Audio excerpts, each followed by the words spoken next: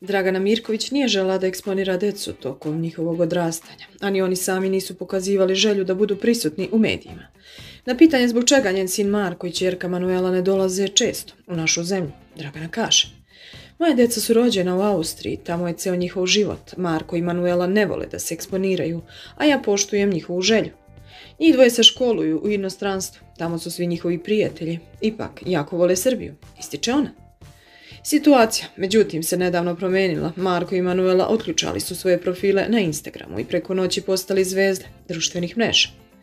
Marko Bijali sin Dragane Mirković, doskora je bio prilično misteriozan. Nije se eksponirao medijima, niti je folk zvezda želela da previše pokazuje svoju decu, što je i razumljivo.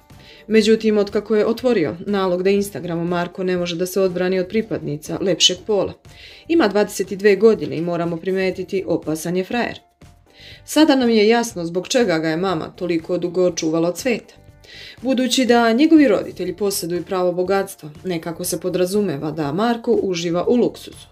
Ipak time se ne hvali naročito. Jedina naznaka raskošnog života je vozni park.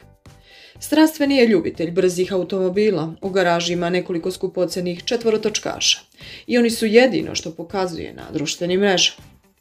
Svojim ljubimcima posvećuje se kad god ima vremena jer je visoko obrazovanje prioritet. Studira na prestižnom institutu koji postoji u Beču gdje Dragana Mirković živi sa suprugom i decom. Reč je o najvećem svetskom privatnom koleđu u oblasti medija, audio i filmske produkcije. To objašnjava zbog čega u opisu Markovog profila stoji samo jedna reč, a to je umetnik.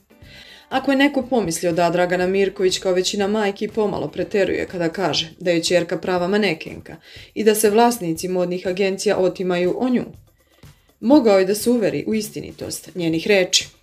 20-godišnja Manuela Bjelić izrasla je u pravu lepoticu, visoka je vitka, sudeći po fotografijama koje je objavila na Instagramu. Zanimaju je shopping i putovanja.